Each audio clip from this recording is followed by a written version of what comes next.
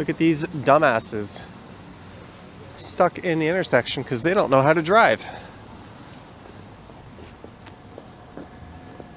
We call that one a Toronto special. Hey, look at this. Someone else who can't drive. How hard is it to not enter an intersection before it's clear? And to stop before a line? Good job, people.